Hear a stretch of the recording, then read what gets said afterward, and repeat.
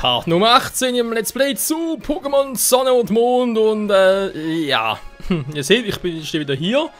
Das Problem war, nach den letzten zwei Folgen spielen nach Part Nummer 17 muss ich mal ganz dringend auf die Toilette, ist es soweit äh, nicht weiter tragisch und äh, habe dabei aber leider übersehen, dass der 3DS schon, naja, die Batterieleistung schon am Blinken war. Was passiert natürlich, wenn du ein paar Minuten auf dem Klo bist, genau, du kommst zurück und der DS ist bereits abgestürzt. Er hat natürlich nicht gespeichert. Äh. Da muss ich nochmal die letzten zwei Parts nachspielen. Ich hoffe, ich habe alles so gemacht, wie es bereits war. Ich habe nochmal Miltank gefangen, genau. Insofern müsste, glaube ich, alles so sein wie zuvor, auf dem Level her. Äh, dann habe Relax noch Normium Z gegeben, das ist glaube noch anders als vorhin. Und Mitsun auch Normium Z. Arboretus hat auch Kraftreserve, Expertengurt wie gehabt. Marike hat jetzt noch die Scope-Linse auf, so ein Sammel-Item trägt. Und daher, ja, würde man sagen, können wir es weiter weitermachen. War auch ein habe ich so weit gemacht, wie wir es kennen. Nichts anders, nichts neu, einfach nur so wie gehabt. Und äh, Mal gucken, was wir hier noch haben. Aber erstmal muss ich meine Pokis heilen gehen. Was ein bisschen schwierig werden dürfte sich gerade. Äh, Slimer, Domi. Slimer.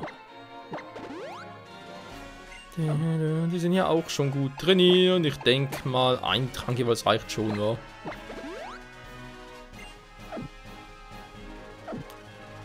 Und dann mal gucken. Hm? Du, du, du. Wir beide möchten dich zum Duell herausfordern. It's time for duel. Es wird Zeit für ein Yu-Gi-Oh! Match mit Pokebällen. Trainerhoffnungen, okay.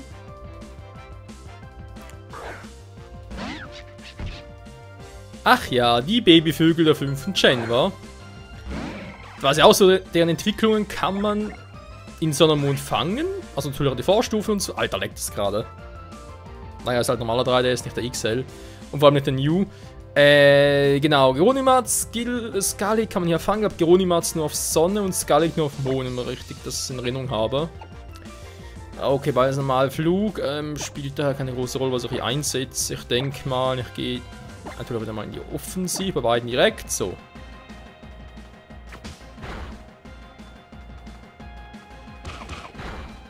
Flücker. Ja. Ja, die ist klar.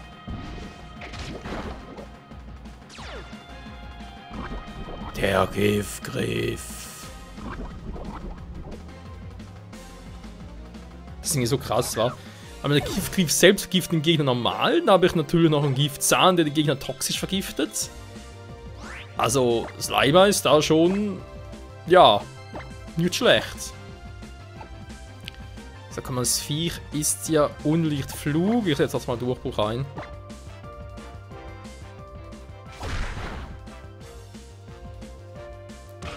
Weiß er hat auch einen Z-Move einsetzen können bei den Z-Attacken. Ganz ehrlich, da regt mich langsam diese Animation auf. Jedes Mal diese... Schon wieder. Also, du, wegen der Giftzahn. Lecco mio. Jetzt ist halt toxisch vergiftet.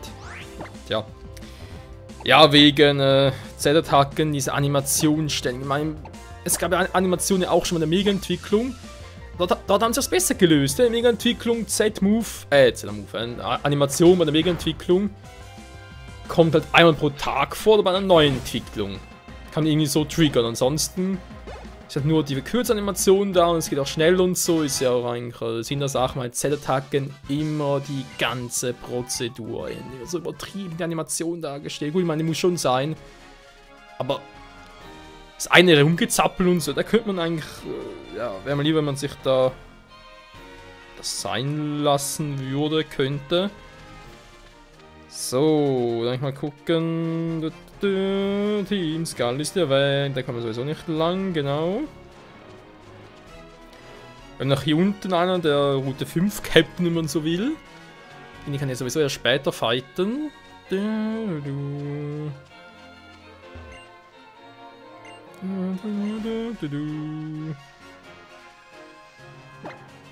Mal gucken, was Bismarck sagt.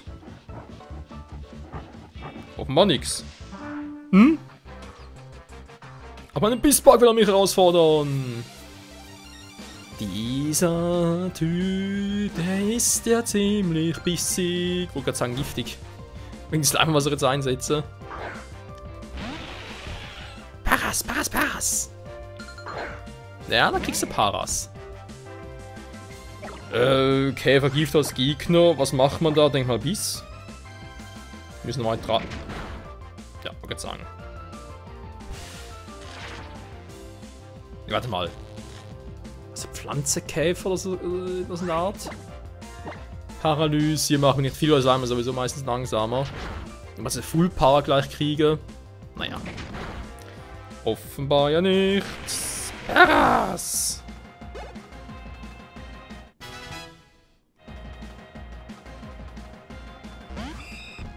Noch ein Käfer. Wir haben langsam Zeit für einen Auftritt von Nomi.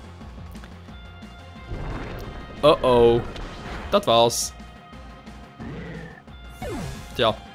Level 15 Nachnebel ist eigentlich klar, sieht 15 KP ab. Das war's für unseren Slimer. Tja. Schnabel!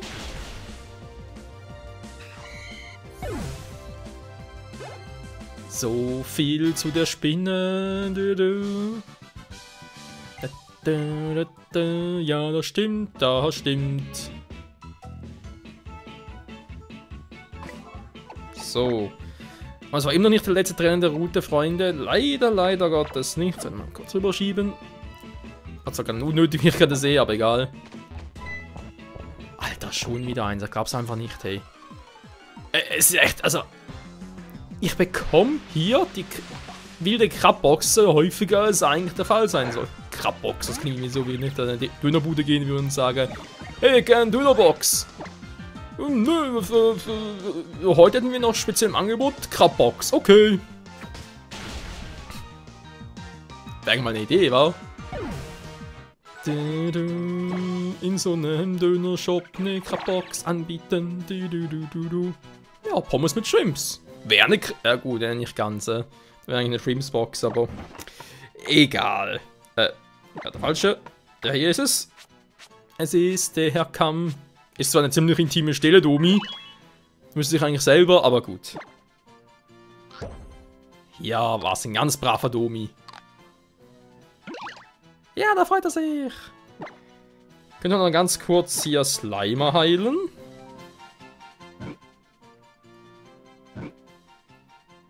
Hey! Da kann Bock, die schläft lieber. Immer diese faulen Pokémon. Pieselbeere, Dankeschön. Persenbeere, vielen Dank. Also, du schon ein bisschen merkt, auch jetzt auch hier mit den Beeren und so weiter. Wie bereits erwähnt, ich habe Pokémon Sonne mittlerweile durchgespielt, zumindest die Hauptstory. Wenn man sich mal so überlegt, was man damals mit Oras also Funktion hatte, vor allem natürlich bezüglich halt, äh, ja, nicht nur hier durchs Spielverlauf durchzocken und so, sondern auch ein bisschen kompetitiv zocken.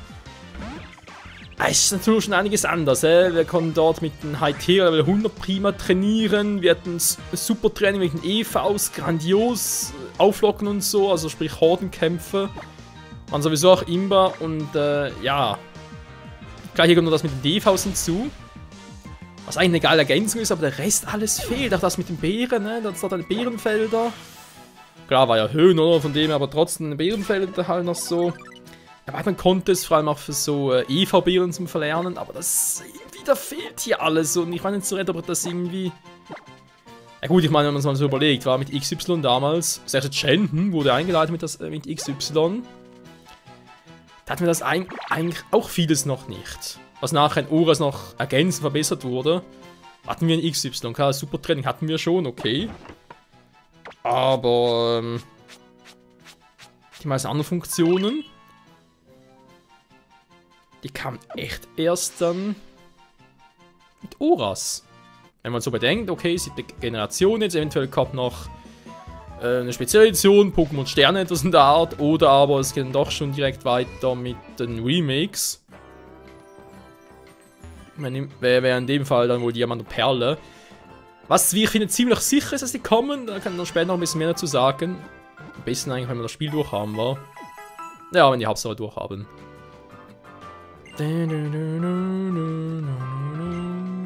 Was soll es jetzt schon?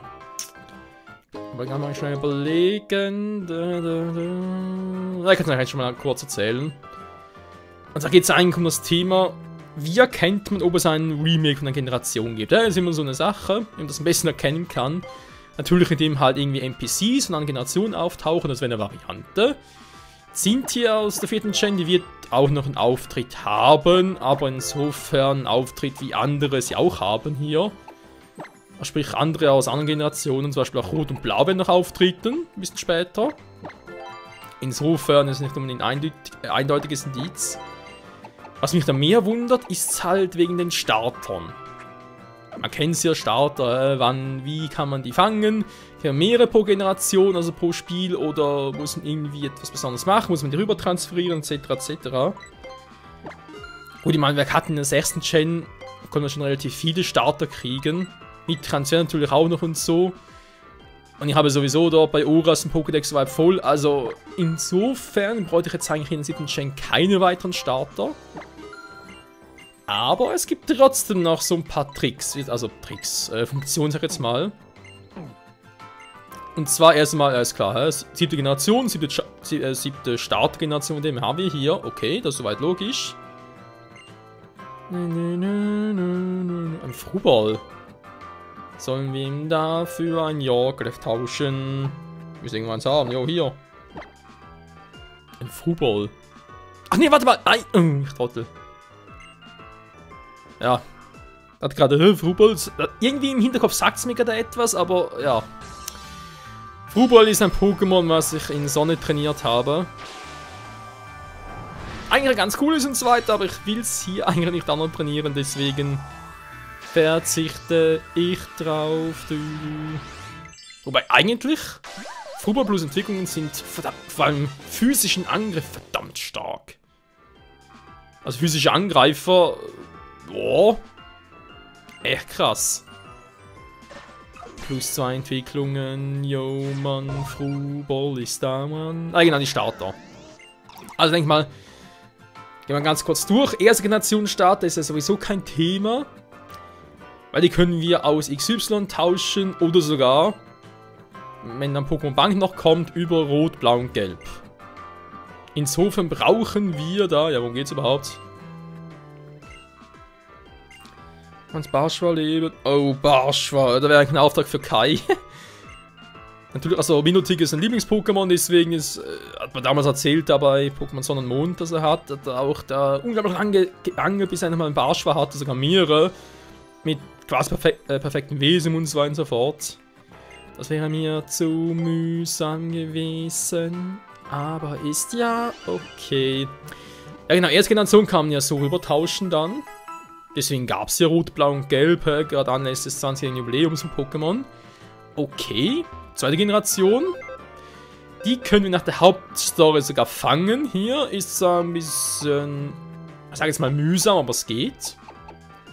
Insofern auch da eigentlich kein Problem, man kann die fangen, okay. Ein Blendpuder.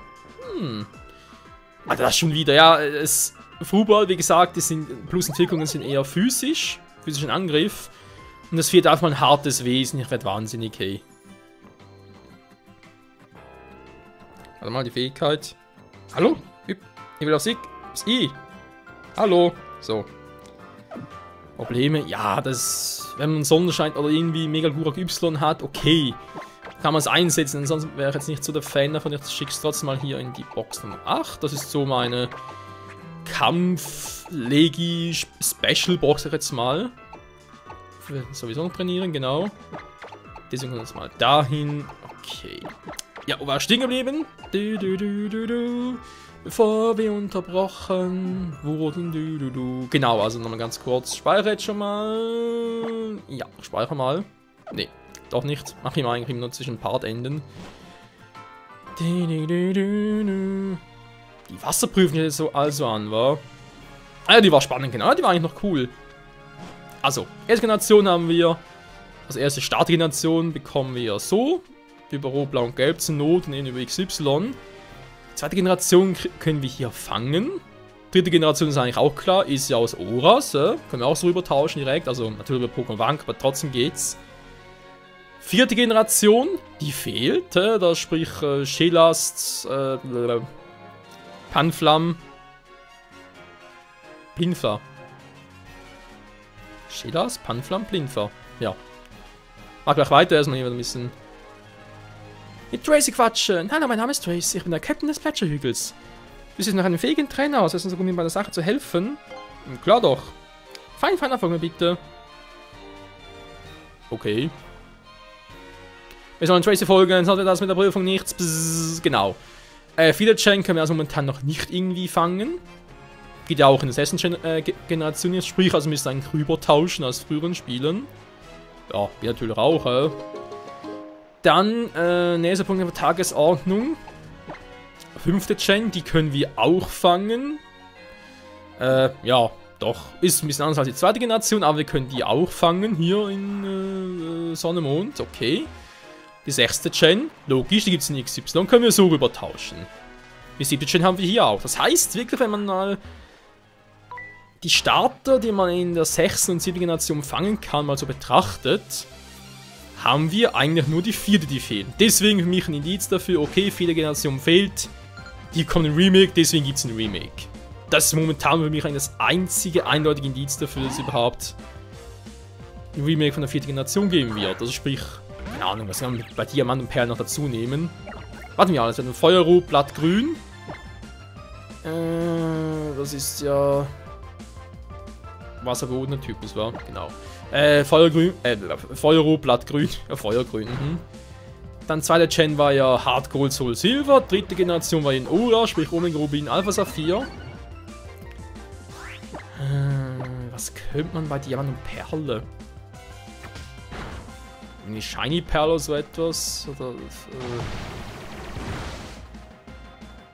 keine Ahnung. Wenn irgendwie Edelsteine noch maximieren will, von dem her, wenn eine Diam Diamant eine Perle maximieren will. Naja, werden wir sicher in ein, maximal zwei Jahren noch äh, rausfinden, wie das Ganze heißen wird. Und natürlich auch, welche Funktion es noch bietet, war. Wie gesagt, hey, ich fand eigentlich das ganze Trainingsprozedere. Warte ich mal, Säckkraft geht es ein bisschen schneller hier. Äh, aus der sechsten Gen, vor allem Oras, fand ich so genial zum Trainieren. Was da echt noch gefehlt war irgendwie die DVs explizit trainieren. Was können wir hier auch mit den ganzen Kronkorken, hast du nicht gesehen? Das geht hier. Ja, geil. Aber der Rest dafür fehlt irgendwie und daher kannst du auch überlegen, okay, trainiere meine Pokémon in Oras, tausche nach rüber und max mir die DVs. Okay, das geht dir für die ersten sechs Generationen. Aber für City Chain geht das nicht. Was machen da, wenn ihr da so ein Pokémon so... Ja klar, man kann es auch anders trainieren, oldschool-mäßig schon fast, aber ist halt trotzdem... Der SOS-Battles haben wegen EVs, aber ist halt einfach doof. Wie ich finde. Deswegen hoffe ich wirklich, dass das wieder zurückkommt in Diamant und Perle. Also Remake, logischerweise. Äh. Ansonsten wüsste ich noch irgendwas, was ich sagen wollte. Müsste mal kurz überlegen. Anton. Wegen dem Dev-Haus. Ich hätte es besser gefunden. Ich hoffe, es wird nachher noch abgedatet. Weil jetzt mit dem aktuellen DV-Trainingssystem geht es eigentlich nur Endempfangen trainieren, nö, kein Bock drauf. Äh, geht es eigentlich nur darum, dass man halt die DVs maximieren kann. Im Prinzip ist die Option entweder ein Wert maximieren oder alle Werte maximieren.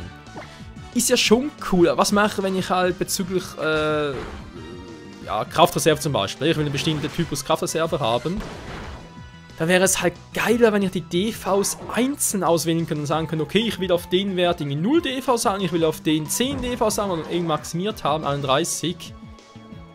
So, jetzt haben wir da wieder SOS Battle. So, wie gesagt, ist eigentlich cool und so weiter. Naja. Mal ganz kurz erholen.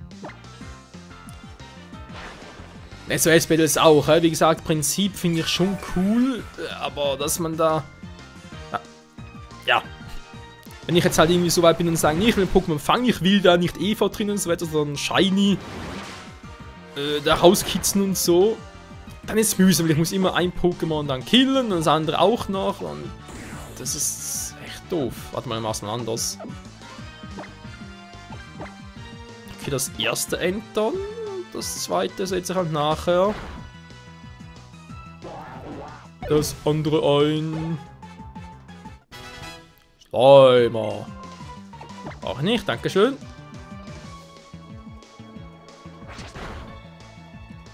Die Kratz... Aua! Die Kratz... Aua!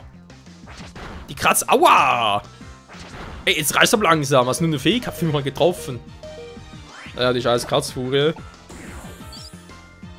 Die bis fünfmal treffen kann. Du, du, du. Jetzt reicht's. Z-Move. Fighting! Ja, Mann. Fulminante Faustschläge. Das ist doch übertrieben doll. In your face, Alter. Anton. Anton. Ja, das arme Anton, Anton, Anton. So, bitte schnell weiter.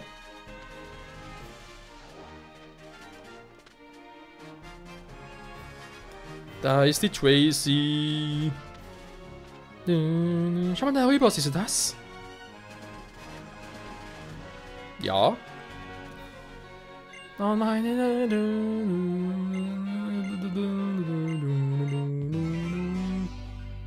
Lapras kann nun rufen, geil Mann, jetzt kann ich surfen. Du, du, du.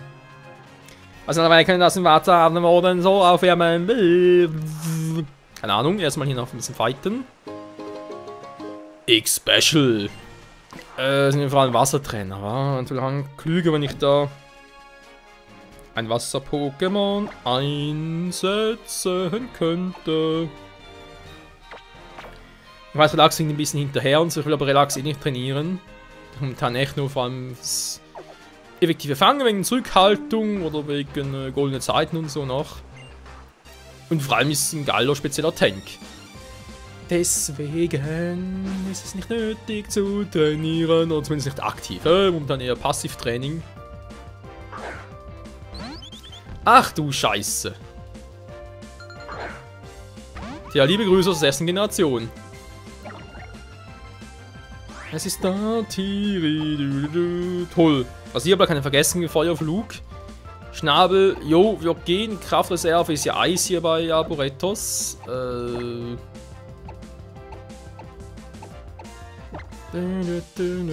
Setz doch lieber mal Marikek ein.